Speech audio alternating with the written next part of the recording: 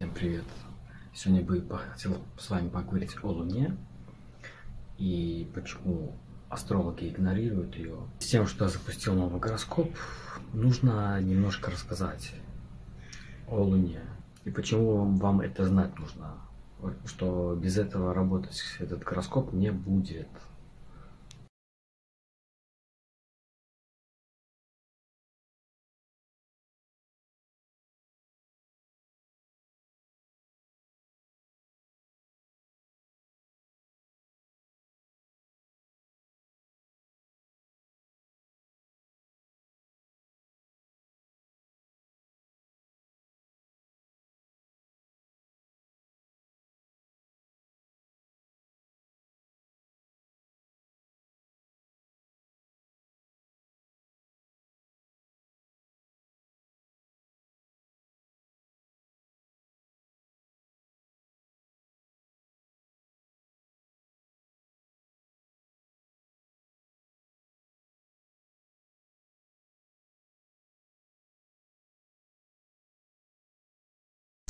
Значит, Луна а, это не менее важный фактор, чем Солнце. И у некоторых людей даже оно ярче может проявляться, чем, чем это Солнце. Луна в совокупности с Солнцем это как вот две руки, левая и правая, например. Солнце, допустим, левая рука, а Луна ее помощник, правая рука. Да, порой бывает, что главнее Луна, но об этом позже. И Луна, да, допустим, может рассказать, как нужно отдыхать, да, то есть э, это такая условно зона комфорта, как у, у матрицы судьбы, например, есть. И это практически схожий параметр. Конечно, сравнивать не буду, но смысл как бы тот же. Допустим, человек не, на нервах, да, и вот ему, допустим, луна вовне, если у тебя, да, то необходимо там покричать, с кем-то поругаться, и тогда становится все хорошо. Рыбе, например, в Луне э, музыку послушал, ну, вроде бы отдохнул, да. Ну, вот. То есть вот такой вот смысл. Если Луна напряженная, то это а, плохое отношение. Вот, допустим, многие про это говорят, что плохие отношения с женской именно линией, потому что а, Луна считается это по маме, допустим, по ее линии вот считается Луна. Но это не всегда так на самом деле. То есть тут нужно смотреть полную карту. Поэтому однозначно говорить так не стоит. Я бы не стал, например. Вот. Это может быть с родителем каким-то, не обязательно по женской линии, нужно смотреть по карте натальной. Может быть это а, с отцом, например, напряженка. Луна у нас э, отвечает за четвертый дом, поэтому, а, соответственно, здесь будут э, такие истории, как э, не только с родственниками плохие отношения, но еще, например, вот дом, вот у вас есть, да, и вот как у вас с этим домом, то есть вы, может, там не живете в этом доме, и как бы это одна из причин какого-то там негатива вот у вас внутри, да. Это может быть и сон плохой, но это всегда не всегда из-за этого. То есть тут не нужно именно винить Луну во сне, и Луна еще может сказаться на депрессиях, на Луне. Это может быть переедание. Но опять же, тоже не всегда. Это нужно полную карту смотреть. Я бы именно к желудочному тракту я бы отнес бы, наверное, всякие гастриты, вот это вот больше. Плюс э, депрессии, всякие атаки, панические нервные срывы. Это когда с друзьями напряженка, то есть их вообще может, они могут отсутствовать. И неумение адаптироваться вообще в окружении. То есть ты не понимаешь, где ты, что ты. Ты уезжаешь куда-то, например, и тебе скорее хочется домой. Приезжаешь домой, и тебе хочется уехать куда-то. То есть такая вот абракадабра получается. Но это как бы существует, это реально все. Да, это еще может быть э, чужой дом. Вот одна из причин напряженной Луны. Да, в мужской системе может Луна отвечать за некий такой образ женщины, а в женской карте это способность на рождение, на создание семьи. Ну и чувство материнства, условно так это назовем. Если вы что-то посадили и вот это что-то вянет, то это тоже напряженная луна.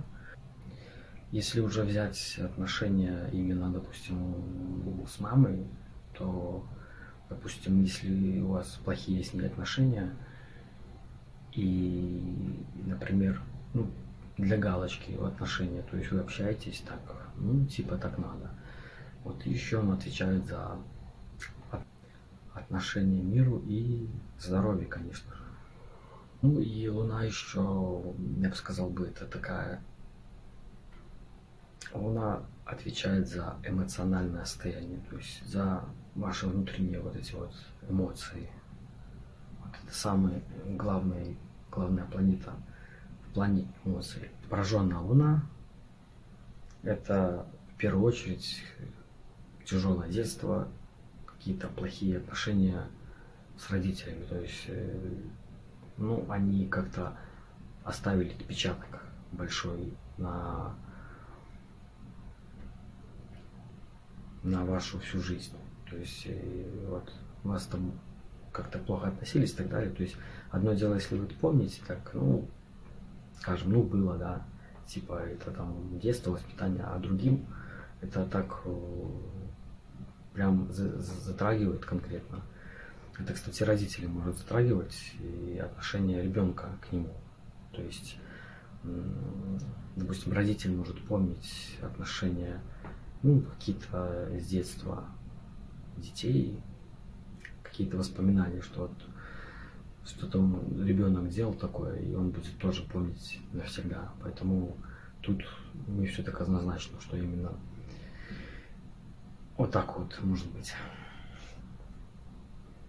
То есть могут быть вот такие вот маленькие исключения. Одним словом, вам оставили отпечаток на всю жизнь, и вы вините кого-то. Вот это вот плохо.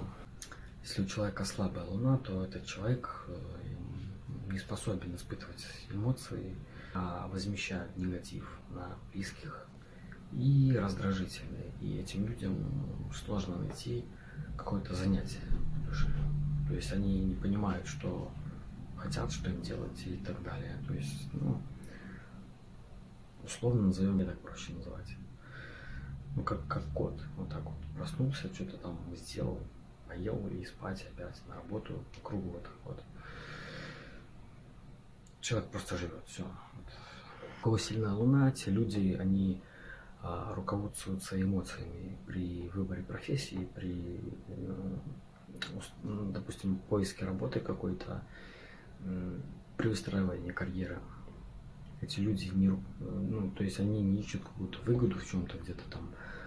Если у этих людей что не получается, там они что делают, то они как бы ну, не унывают, они дальше продолжают делать. И они очень просто там находят общий язык с другими людьми, знакомства какие-то новые. А, новые связи, это все для них легко, просто изи.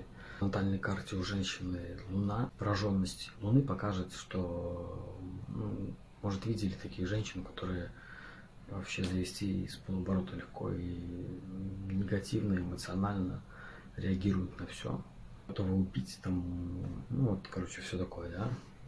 А в натальной карте у мужчины Луна показывает, мужчина знает, что нужно его женщине, например. Вот это вкратце можно вот так описать. Ну и, например, Луна, если у мужчины в рыбе находится, то такой мужчина просто привлекает внимание женщину своей загадочностью. Например, вот э, еще нужно знать, в каком доме Луна. Например, у женщины, если в первом доме Луна, то такая женщина, она а, увлекает мужчину сразу же, та не в силах сдержать свои чувства, это не то, что минус, это, это нормально. То есть это нужно каждому человеку знать, в каком луна доме, в каком знаке у него эта луна. Кстати, здесь э, не особо нужно знать время рождения, потому что главный день нужно знать, потому что луна каждых два дня сменяет знак. Поэтому, в принципе, ну, на процентов 90, да, что вы без знания времени будете знать свою Луну. Ну, в общем, все, что хотел вкратце рассказать. Я думаю, для новичков больше и не нужно информации.